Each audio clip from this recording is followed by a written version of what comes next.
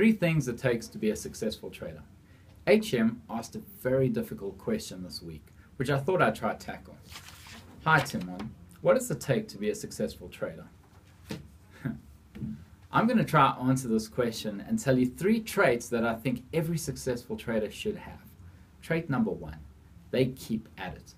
A successful trader is always equipped with a successful strategy, risk money management rules, and strict criteria to follow.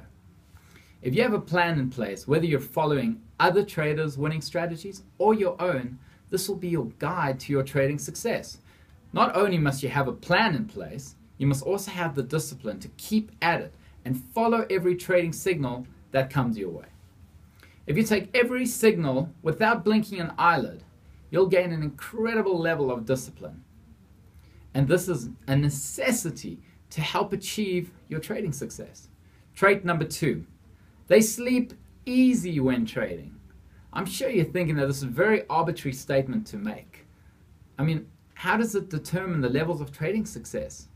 Well, metaphorically speaking, I believe that trading should be done with a calm state of mind. Whenever you take on a trade, it needs to be done with no questions asked.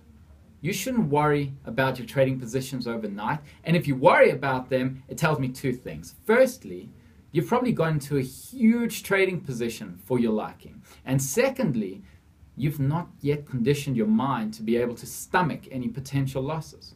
So reduce your trading positions to the point that you can sleep easier and read some psychology books until you've conditioned your mind to handle those annoying losses.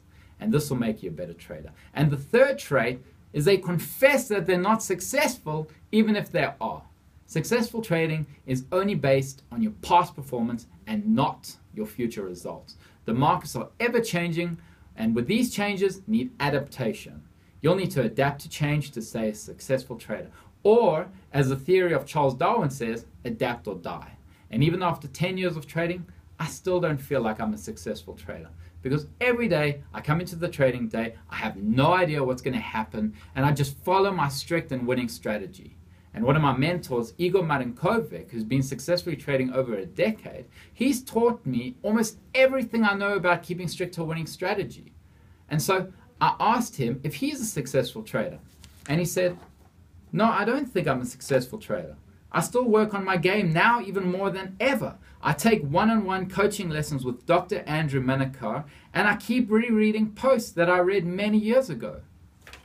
So now ask yourself are you a successful trader? If you've enjoyed this video, then give it a thumbs up and subscribe.